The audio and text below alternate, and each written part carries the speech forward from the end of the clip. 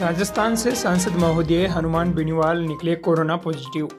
कभी की थी सोनिया राहुल की जाँच की मांग?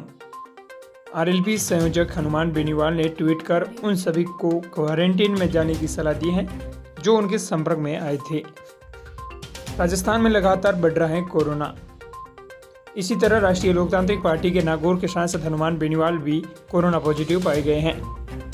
बेनीवाल की कोरोना रिपोर्ट पॉजिटिव आई है। बेनीवाल ने अपने ट्विटर हैंडल से इसकी जानकारी अपने समर्थकों के साथ साझा करते हुए अपील की है कि पिछले दस दिनों में उनके जो संपर्क में जो लोग आए हैं, वो अपना कोरोना टेस्ट ज़रूर करवा लें। आपको बता दें कि सी सीएमएसओ सुकुमार कश्यप ने बताया कि सांसद हनुमान बेनीवाल ने रविवार को जेएलएन अस्पताल की लैब में खुद का और पत्नी का कोरोना टेस्ट करवाया था।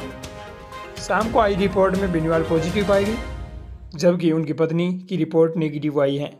परिवार के अन्य सदस्यों के सोमवार को सुबह सैंपल लिए जाएँगे। वहीं बेनीवाल ने भी रिपोर्ट आने के तत्काल बाद ट्वीट कर यह खबर साझा कर दी।